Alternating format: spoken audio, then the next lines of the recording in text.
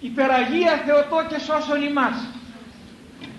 Αυτό είναι το θέμα το απόψινό το λες, το ξαναλες στην εκκλησία, στο σπίτι, στο χωράφι, στο δρόμο, στο αυτοκίνητο, στο αεροπλάνο. Πάντα το λες υπεραγία Θεοτό και σώσον ημάς και δεν το φορταίνεις. Είναι μερικά πράγματα στη ζωή αδελφοί μου άντρες και γυναίκες. Προσέξτε με. Είναι μερικά πράγματα που δεν χορταίνονται το ψωμί το χορταίνεις τις εκδρομές της χορταίνεις τα πλούτη τα χορταίνεις μα μερικά πράγματα πνευματικά είναι τόσο νόστιμα είναι τόσο στοχαστικά είναι τόσο γλυκά σαν την καραμέλα στο στόμα. Τη γλύφεις, τη γλύφεις, τη γλύφεις και θέλεις κι άλλο.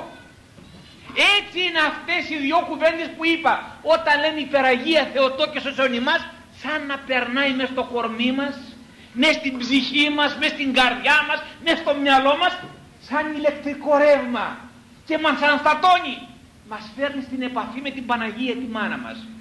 Πως να μην είναι γλυκά αυτά τα λόγια. Ναι αλλά αυτό το υπεραγία Θεοτό και σώσον ημάς να το λέμε σωστά όμως ε. εάν το λέμε ανάποδα δεν πιάνει. Μα τι πράγματα είναι αυτά τώρα. Τι είδος κήρυγμα είναι αυτό. Τι θέλω να τονίσω απόψε. Δυστυχώς υπάρχουν και κακόδοξοι υπάρχουν και αιρετικοί υπάρχουν και ασεβείς υπάρχουν και ετερόδοξοι υπάρχουν και αλόδοξοι.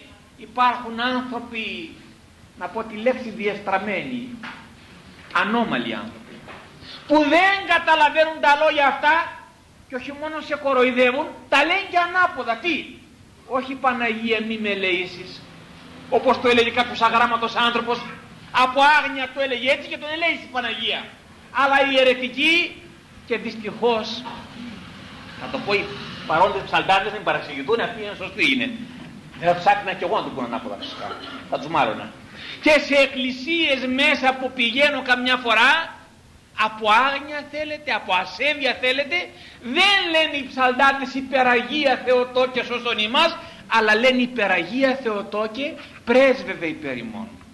Είναι μεγάλη αμαρτία. Δεν είναι ορθόδοξα πράγματα αυτά. Δεν το θέλει η Παναγία μας έτσι να λέμε υπεραγία Θεοτόκε στον Άγιο Γιώργιο και στον Άγιο Δημήτριο και στην Αγία Μαρίνα και σε όποια Αγία θέλετε την αγαπάτε να λέτε Άγιε του Θεού πρέσβε υπερημών. Στην Παναγία αν είστε Ορθόδοξοι θα το λέτε έτσι υπεραγία Θεοτόκε σώσον ημάς. Η Παναγία δεν πρεσβεύει απλώς αλλά σώζει τον άνθρωπο γιατί είναι η μοναδική μετά την Αγία Τριάδα. Ο Πατήρ, ο Υιός και το Άγιο Πνεύμα πρώτα και αμέσως μετά η Παναγία έρχεται. Δεν μου λέτε, όταν ήσασταν μικρά παιδάκια και καμιά φορά χτυπούσε το ποδαράκι σας, λίγο το ματάκι σας, το κεφαλάκι σας, τι φωνάζατε, όχι, μανούλα βοήθησε με. Δεν λέγατε τη μάνα σας. Τώρα τα παιδάκια σας, τα εγγονάκια σας όταν χτυπάνε, τι φωνάζουνε, γιαγιάκα μου, μανούλα μου, έχω χτυπήσει το ποδαράκι μου. Γιατί ξέρει ότι η μάνα, αν το φιλήσει εκεί στην πληγή, δεν θα πονάει άλλο. Έτσι ακριβώς είναι και η Παναγία. Όχι πρέσβευε. Δεν θα πάει να φέρει το γιατρό δηλαδή να μας σώσει. Θα μας σώσει η ίδια. Να γιατί λέμε υπεραγία Θεοτόκε σώσον ημάς. Και τώρα φαντάζομαι ακούτε όλοι ε. Και αυτοί που είναι έξω ακούνε. Γιατί καμιά φορά φεύγω από το μικρόφωνο κοντά και φοβάμαι αυτοί που είναι απ' έξω ότι δεν ακούνε. Τώρα, δεν πάνε πολλές ημέρες, καμιά δεκαπενταριά ημέρες είναι τώρα, και συνάντησα στη Χρυσούπολη, αν ξέρετε που είναι η Χρυσούπολη, πέρα από την Καβάλα προς την Ξάνθη. Συνάντησα εντελώς τυχαία, συμπτωματικά, έναν ιερωμένο Αρμένιο. Αρμένιος, κακόδοξος. Μονοφυσίτες λέγονται αυτοί. Αυτοί οι άνθρωποι οι Αρμένοι λένε ότι είναι Ορθόδοξοι, αλλά δεν είναι Ορθόδοξοι. Γιατί νομίζετε; Όλα τα άλλα τα παραδέχονται την Παναγία μας δεν τη λένε Θεοτόκο αλλά τη λένε Χριστοτόκο και αρχίσαμε αυτόν τον ιερωμένο μορφωμένος θεολόγος και αυτός πήγε στα σχολεία τα δικά τους και στα δικά μας και τι μου έλεγε; Να εσείς λέει οι Ορθόδοξοι λέει τι είναι αυτό λέει; Θεοτοκολάτρες είστε λέει εμείς τη λειτουργία μας για την Παναγία δεν λέμε τίποτε. Λέμε τον Χριστό, λέμε τον Πατέρα, τον Υιό το Άγιο Πνεύμα. Και τη λειτουργία την αρχίζουμε από πού; Ο μονογενής Υιός και Λόγος του Θεού. Μέχρι εκεί τα παραλείπουνε για να μην μπουν τις πρεσβείες της Θεοτόκους σώτερ σώσουν ημάς. Ακούτε. Γιατί η Παναγία για αυτούς δεν είναι η μάνα του Θεού αλλά είναι η μάνα του ανθρώπου.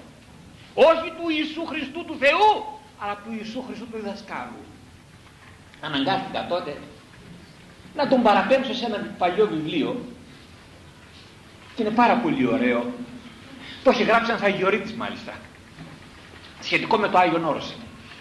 Του λέω να πάει στην τάδε σελίδα να διαβάσει μια ιστορία που έχει σχέση με αυτήν τη λατρεία που έχουμε στην Παναγία.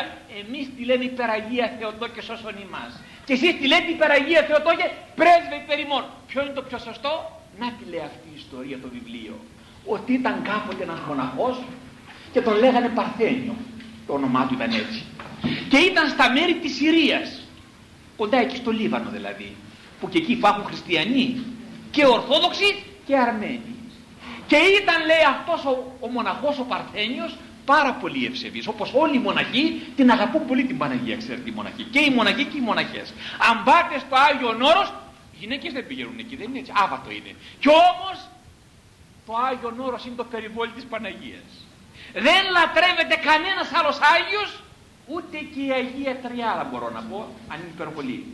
Όσο λατρεύεται στο Άγιον Όρος η υπεραγία Θεοτόκος. Και μην τολμήσει κανένας άντρας να πάει εκεί και να πει υπεραγία Θεοτό και πρέσβη περιμών θα τον πετάξουν έξω αμέσως. Τι είπες βρε ασεβέστατε; Είναι αμαρτία, είναι ανορθόδοξο είναι κακοδοξία αυτό.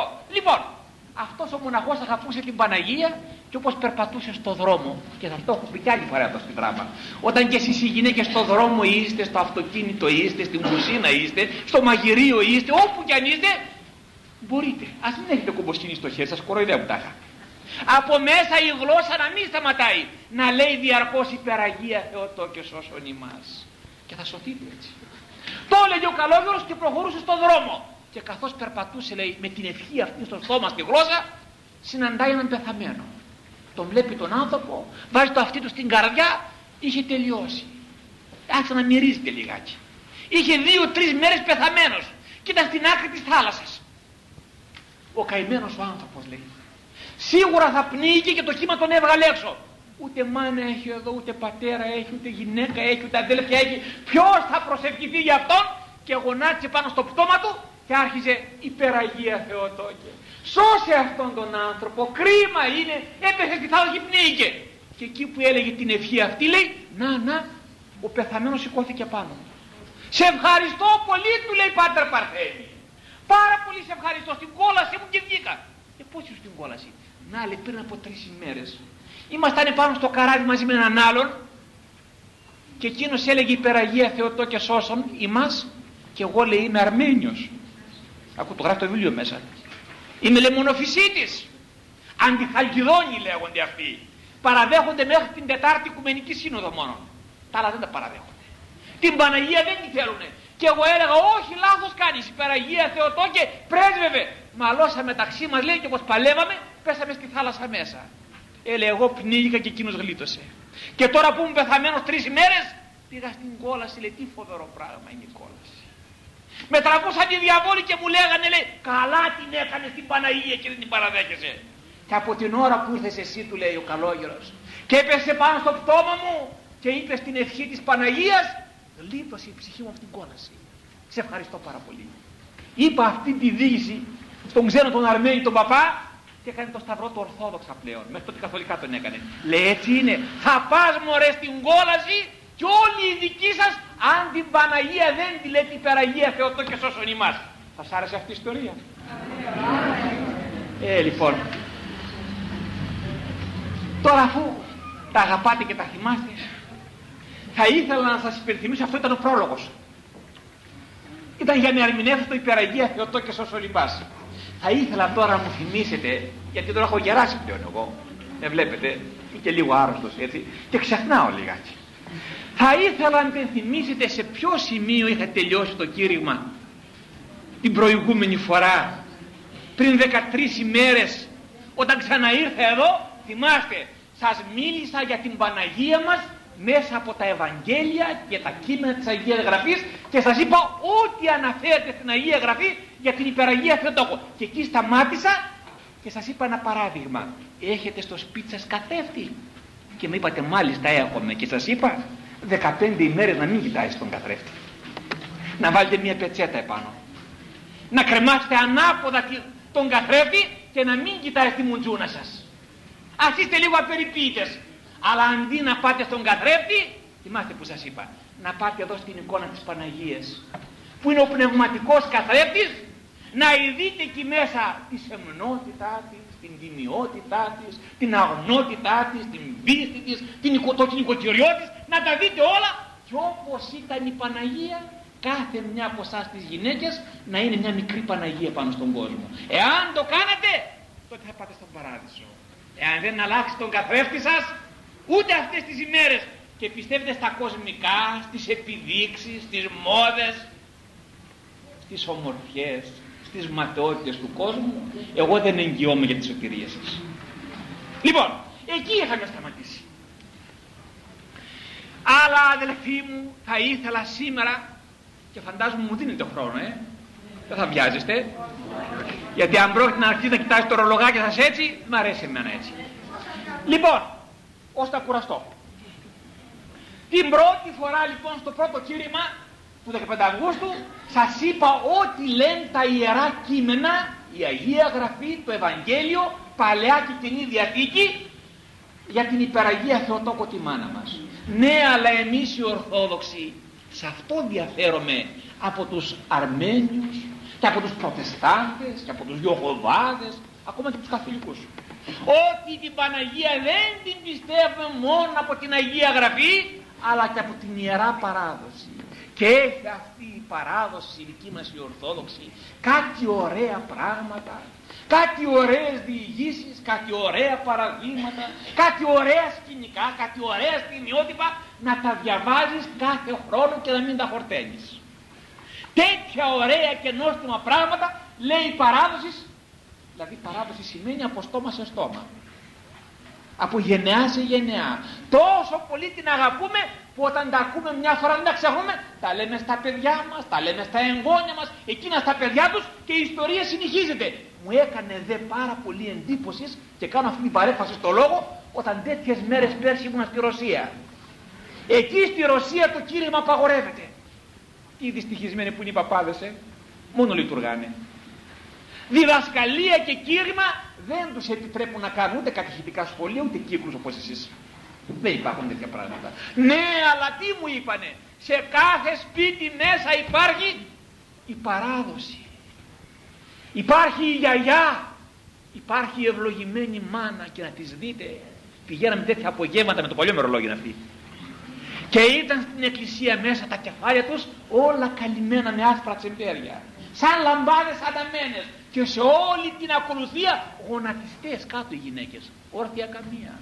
Δεν μπαινόβγαινε κανένας. Σαν πως να ήσουν στον παράδεισο και ρώτησα καλά πως διατηρείται αυτή η πίστη; Και μου είπανε τις παραδόσεις τις ορθόδοξες τις κρατούν οι γυναίκες, οι γιαγιάδες να λοιπόν να παραδειγματιστείτε κι εσείς.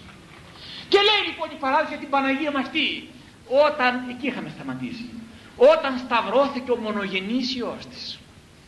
Όταν αναστήθηκε ο Χριστός όταν αναλήφθηκε ο Χριστός όταν κατέβηκε το Άγιο Πνεύμα και ήταν μαζί και η υπεραγία Θεοτόκος στο υπερόν μαζί με τους Αγίους Αποστόλους από εκείνη την ώρα λέει δεν την χωρούσε ο τόπος. Τι να μένω εγώ στο μάτιο αυτόν κόσμο που βογγάει από το έγκλημα από την ατιμία, από το βάρος των αμαρτημάτων. Πως να μένω εγώ σε αυτόν το μάτιο κόσμο που έχει βαφτεί από το αίμα του παιδιού μου; Δεν την έκανε πλέον η ζωή κανένα ενδιαφέρον. Και ήθελε να φύγει να πάει κοντά στο παιδί της. Θα έτυχε νομίζω καμιά από εσάς να έχει ξενιτεμένο το παιδί της. Να το έχει ένα και να είναι στην Αμερική ε; να είναι στον Καναδά, στην Αυστραλία. Και εκεί που δεν το περιμένει μια μέρα να έρθει ένα τηλεγράφημα. Μανούλα έστειλα τα έξοδά σου. Σου έβγαλα το εισιτήριο. Έλα να ζήσεις πλέον κοντά μου στην ξενιτιά μαζί με το παιδί σου θα είσαι. Τι χαρά, τι αγαλίαση. Α μην ξέρει γλώσσα. Θα μπει στο καράβι, στο αεροπλάνο η γιαγιά να πάει κοντά στο παιδί της. Έτσι ακριβώς και η Παναγία μας. Επειδή το ποθούσε πολύ και παρακαλούσε παράλαβε μου το πνεύμα που είπε προηγουμένως. Και εσύ ε και Θεέ μου παράλαβε μου το πνεύμα. Ας μίζω στον κόσμο αυτόν τον μάτιο, τον υλικό, τον αμαρτωλό. Ας έρθω κι εγώ στον παράδεισο. Πάρε μου παιδί μου κοντά σου.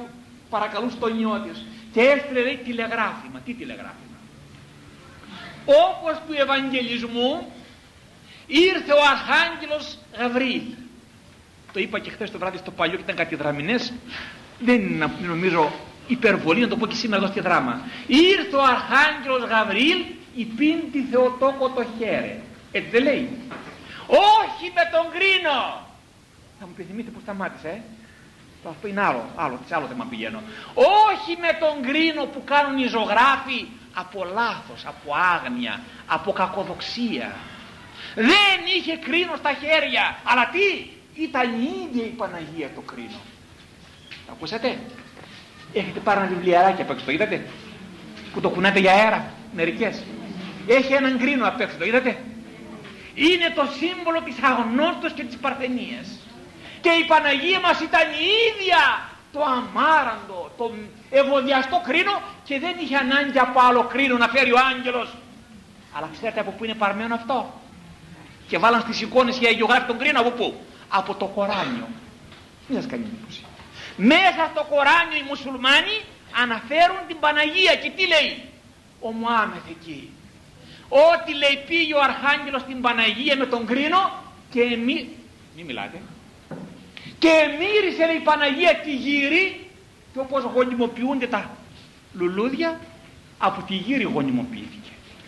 Τέτοια πράγματα το Κοράνιο μόνον οι μουσουλμάνοι τα λένε οι χριστιανοί να μην λέτε τέτοια πράγματα. Επαναλαμβάνω όπως τον Ευαγγελισμό πήγε ο Γαβρίλ και είπε χαίρε και χαριτωμένη Μαρία ο Κύριος μετά σου και αυτή τη φορά αγγελιοφόρος πάλι για το μήνυμα της κοιμήσεως της Θεοτόκου έγινε ο Αρχάγγελος Γαβρίλ έτσι λέει η παράδοση τον έστειλε ο Χριστός από τα ουράνια.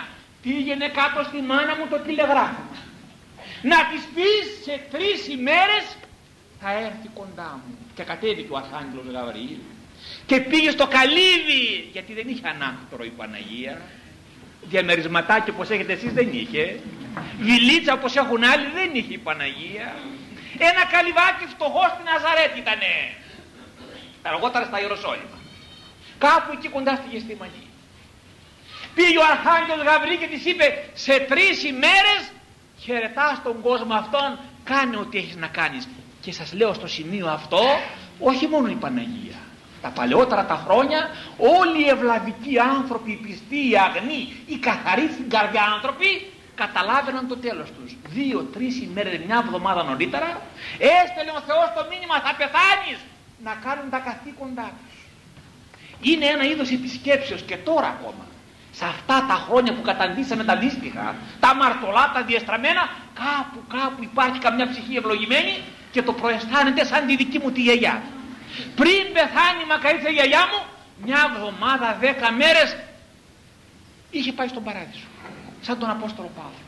Μιλούσε με τους αγγέλους και μας κάλεσε όλους και μας είπε εγώ σε μία εβδομάδα θα πεθάνω. Ακριβώς σε μία εβδομάδα όπως το είπε. Και κοινώνησε και εξομολογήθηκε και μετά νόησε και ζήτησε συγγνώμη. Τώρα δυστυχώς επειδή οι άνθρωποι είναι αμαρτωλοί και διαστραμμένοι δεν τους στέλνει πια ο Θεός το μήνυμα και τι τους στέλνει, το ατύχημα. Πώς το είπα, δεν τους στέλνει ο Θεός το μήνυμα θα πεθάνεις με ωραίο θάνατο για τις αμαρτίες μας. Επιτρέπει ο Θεός τον ευνίδιο θάνατο. Να έρθει το αυτοκίνητο και όπως το μαχαίρι κόβει το πράσο να σου κόβει το κεφάλι. Δεν ξέρω αν το διαβάσατε πριν από λίγο καιρό ένας δεσπότης, ήταν και συνάδελφος μας, στρατηγός ιερέας ήταν. Το δεσπότης Καστοριάς, το διαβάσατε σε εφημερίδες έπεσε στο ατύχημα και του έκοψε το κεφάλι του αυτοκίνητο και πέρασε 50 μέτρα μακριά το κεφάλι του. Αποκολλήθηκε. Φρικτός! Να σας φυλάξει ο Θεός και εσάς και τα παιδιά σας από ευνίδιο θάνατο. Δεν θα προλάβεις να πεις υπεραγία Θεοτό και σώσον ημάς και να πας στην κόλαση. Άμα είναι ευνίδιος ο θάνατος δεν θα προλάβεις να πεις υπεραγία Θεοτό και σώσον ημάς και θα πας στην κόλαση. Γι' αυτό η Εκκλησία μας εδώ που έχετε στις παρακλήσεις στις αρτοκλασίες λέει και αυτό να μας φυλάξει ο Θεός από λοιμού, λοιμού, σεισμού, καταποντισμού, πυρός, μαχαίρας και πού και από ευνηδίου θανάτου ακούτε. Λοιπόν πήρε η Παναγία το μήνυμα και δεν είπαμε. Το τηλεγράφημα. Χαρά και αγαλίαση τώρα μα θα πεθάνουν μερικοί που δεν πιστεύω στην άλλη ζωή αρχίζουν και κλαίνε. Αχ, αρρώστησα, πονάει το κεφάλι μου, καρκίνο έχω και τι κλαις μωρέ, δεν χαίρεσαι καλύτερα που θα εγκαταλείψεις την αμαρτία και το μάταιο κόσμο. Να φροντίσεις να πας στον παράδεισο και είναι καλύτερα εκεί. Η Παναγία χαιρότανε και τι έκανε. Δύο-τρία πραγματάκια, θα τα πω τώρα έτσι, που είναι πάρα πολύ όμορφα. Το πρώτο απ' όλα που έκανε η Παναγία μόλις το ότι πεθαίνει, τι έκανε. Πήρε τη σκούπα, λέει η παράδοση, όπως έχετε μια σκούπα όλες, τώρα ηλεκτρικές έχετε. Βάζει την πρίζα μπροστά, αυτό, και καθαρίζει το σπίτι. Εύκολα. Μπράβο. Στην εποχή τη δική μας που θέλει να κάνουμε διάλογο, όταν εγώ ήμουν μικρό στο χωριό, ούτε τέτοιες σκούπες καλές δεν είχε, αλλά από το βουνό μαζεύαν κάτι κλαδιά και τα κάναν σκούπα και το σπίτι κάτω, ξέρετε τι είχε; Χαλάκι δεν υπήρχε, μοκέτα δεν είχε όπως έχει τώρα. και δεν έχετε; Ούτε ψάχα. Πήγαινε από τον ποτάμι αδελφή μου και έπαιρνε κόκκινο χώμα και το ανακάτευε με κουπριά από τις αγελάδες και το έκανε ένα μείγμα αυτό και άλλοι με το σπίτι μην μιλάτε τώρα και άλλοι με το σπίτι κάτω και με εκείνα τα, τα, σκουπόξυλα μετά καθάριζε το σπίτι και καμιά φορά με τη γλώσσα έβαζε κάτω και μάζευε τα σκουπίδια λοιπόν και η Παναγία μας είχε λοιπόν μια σκούπα γιατί το έκανε αυτό; Γιατί ήταν καλή νοικοκυρά και ήθελε η Παναγία, τι σας προηγουμένως, να πάτε εκεί για καφέ. Για να διδάξει σε εσάς τις γυναίκες ότι η αποστολή σας είναι να είστε καλές, καλές, καλές νοικοκυρές και μανάδες. Όπως ήταν εκείνη καλή μάνα και καλή νοικοκυρά, κάθε γυναίκα οφείλει να είναι πρώτα απ' όλα νοικοκυρά. Τι να τα κάνουν τα γράμματά σας; Μαθαίνετε γράμματα, τι να τα κάνουν τα λεφτά σας, τι να κάνουν τις γολώσες σας, το πιάνο που παίζουν μερικές, Όχι. Το νοικοκυριό μετράει στη γυναίκα. Ήμουνα χθες το βράδυ στο παλιό χωριό της Καβάλας και τους μίλησε εκεί και μετά με πήρε ένας δραμηνός γιατρός και με πήγε στο σπίτι του. Εκεί σπίτι εκεί. Και κουβεντιάζαμε εκεί ώρες το βράδυ αργά κάτω από το φεγγάρι. Τι ωραία, κοντά στη θάλασσα. Και λέγαμε τέτοια πράγματα και μου άρεσε πάρα πολύ. Λέει αυτά τα φεμινιστικά που ακούς τώρα πατεριώκη και θέλουν να βγουν στην Ιωπάλη, ξέρεις γιατί είναι; Αν έδιναν λέει και ένα μισθό στις γυναίκες που δουλεύουν στην κουζίνα τους καμιά δεν θα ήθελα να μάθει γράμματα ούτε κολέγια, ούτε γλώσσες, ούτε φροντιστήρια αλλά τι να κάνουν οι καημένες λέει; Δεν φτάνουν τα λεφτά του άντρα δεν τα βγάζουν πέρα, τσιγαρίζονται και αναγκάζονται και την ξένη τη δουλειά την κάνουν και το νοικοκυριό το κάνουν αλλά τι θα πω την παροιμία θέλετε δυο καρπούζια στην αυτή μας χάλη δεν τα πιάνεις καλά σου φεύγουν ή παπάς παπάς ή ζευγάς ζευγάς το λέτε εσείς Λοιπόν, όποια φεύγει από το σπίτι δεν μπορεί να είναι και καλή νοικοκυρά και καλή εργάτρια. Δύο μαζί δεν γίνονται. Λοιπόν, η Παναγία πήρε τη σκούπα. Σκούπισε το σπίτι για να δείξει, επαναλαμβάνω, ότι πρέπει εσείς οι γυναίκες πρώτα να είστε νοικοκυρές. Και τι ακόμα, ότι όχι μόνο το σπίτι να σκουπίζετε, αλλά και τούτο να σκουπίζετε. Και εγώ και εσείς όλοι μας. Να καθαρίζουμε και την ψυχή μας. Το κάνετε παρακαλώ αυτό; Έλα εσύ που θέλεις διάλογο. Τέτοια σκούπα έχετε, καλά, απ' την άλλη δεν έχετε ηλεκτρική. Σκούπα της ψυχής είναι η μετάνια. Είναι το δάκρυ, είναι η συγγνώμη, είναι η εξομολόγηση. Έχει εδώ στη δράμα εξομολόγους φαντάζομαι. Να πάτε να πάρετε αυτήν τη σκούπα, δεν είναι ηλεκτρική, πνευματική είναι. Να καθαρίσει η καρδιά σας, να καταλάβετε μεθαύριο την κοινωνία που θα πάρετε. Δεύτερον, όχι μόνο η Παναγία λέει παράδοση σκούπισε, που σκέψει τώρα όμως, αλλά έκανε και κάτι άλλο. Είχε στο σπίτι έναν μπαούλο, όχι από αυτές τις ωραίες δουλάπες που είναι από καρύδια, είναι καρυδόξυλα και ωραία έπιπλα. Έναν μπαουλάκι από σανιδάκι, φτωχό, απέριτο σεμνό. Και εκεί μέσα ήταν όλη η πρίκα της. Εγώ τα πρόλαβα. Εγώ αυτά τα πρόλαβα. Όταν ήρθαν πρόσφυγες οι γονείς μου και Ρωσία, όλο και όλο ένα σεντούκι φέρανε. Και το σεντούκι αυτό υπάρχει ακόμα στο σπίτι Κιμήλιο. Σε εκείνο το σεντουκάκι το μικρό το ρωσικό μέσα ήταν όλη η περιουσία της οικογένειάς μας. Έτσι ακριβώς και η Παναγία ένα μπαουλάκι μικρό είχε. Και είχε εκεί μέσα παρακαλώ, να το προσέξετε αυτό, τα ρουχαλάκια τα δικά της και τα ρούχα του Χριστού μας που δεν τα είχε αγορασμένο όπως πατώ εσείς με τις εκπτώσεις. Δεν υπήρχαν εκπτώσεις τότε. Δεν τα είχε αγορασμένα, λέει παράδοσης, παρακαλώ. Εδώ, εδώ τα πιάσες. Τα είχε η Παναγία υφασμένα στον αργαλιό με τα ίδια τα χέρια της. Η φάντρια ήταν η Παναγία. Και στο σημείο αυτό πάλι θα πω ευλογημένα και τρισευλογημένα είναι τα χέρια των γυναικών εκείνων που είναι στα χωριά και δουλεύουν, που είναι στις πόλεις και δουλεύουν, που είναι νοικοκυρές και δουλεύουν και τα χέρια κάνουν ρόζους και δεν είναι για επίδειξη, για καλυστείο. Χίλιες φορές αγαπώ και τιμώ και προσκυνώ τις γυναίκες εκείνες τις εργάτριες που μυρίζουν τα χέρια ψάρια στην καβάλα κάτω ένα, ένα μέρος και δουλεύουν οι εργάτριες στα ψάρια. Και αν περνάς από εκεί πέρα, μυρίζουν οι γυναίκες. Ανεβαίνουν στο αυτοκίνητο και μυρίζουν. Προβοκοπάρι. Χίλιες φορές προσκυνάω παρά τις γυναίκες του κολονακίου που στα χέρια δεν πιάνουν εργαλεία, ούτε ψαλίδι, ούτε βελόνα, ούτε πλένουν, ούτε σιδερώνουν, αλλά έχουν στα χέρια τι, το χαρτοπέρνιο, το κουγκάνι. Και στα χέρια έχουν την αλυσίδα το σκύλο και τις γάτες.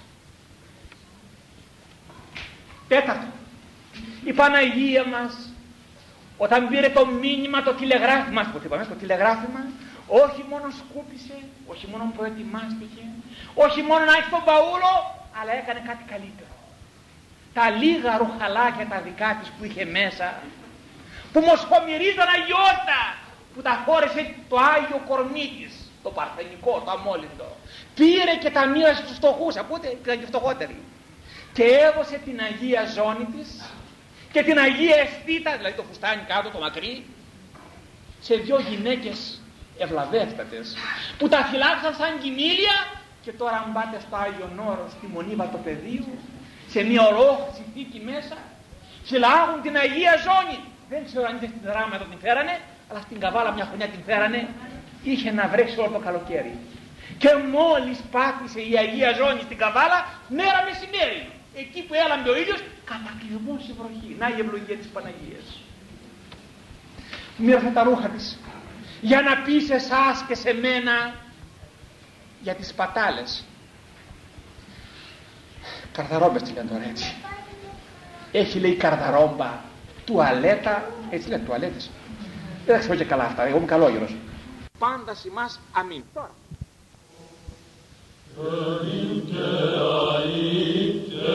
Εις